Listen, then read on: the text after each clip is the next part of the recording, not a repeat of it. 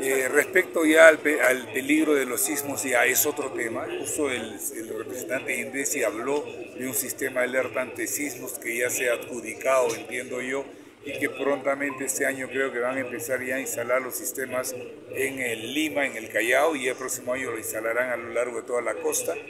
En la costa de Ancash van a, van a instalarse estas sirenas que van a permitir alertar a la población con determinada anticipación para que puedan ponerse a buen resguardo antes del sismo. ¿Esa es una buena estrategia?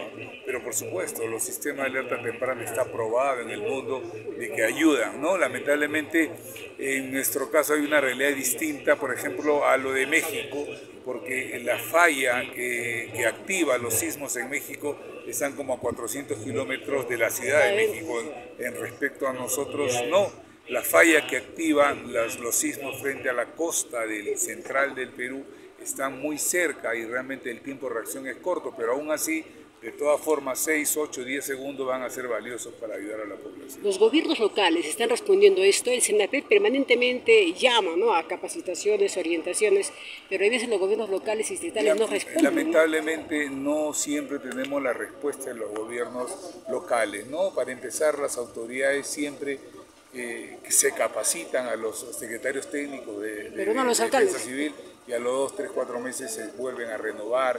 Entonces no, no quedan, la, las autoridades no están permanentes y ahí sí sería una invocación a los alcaldes para que disminuya la rotación y esa gente que se capacita permanezca, ¿no? porque ya tiene los conocimientos y como usted bien lo dijo, Ancash eh, tiene múltiples peligros en costa, en selva, tiene los aluviones, tienen incendios forestales, tiene reptación de suelo, tienen huaicos y, y, y, deslizamientos, es decir, están, eh, tiene, amerita de que tengan autoridades o, o, personal técnico permanente en la gestión del riesgo. Su nombre, por favor, y su cargo. Eh, ingeniero Miguel Yamasaki, jefe del CENEPRED.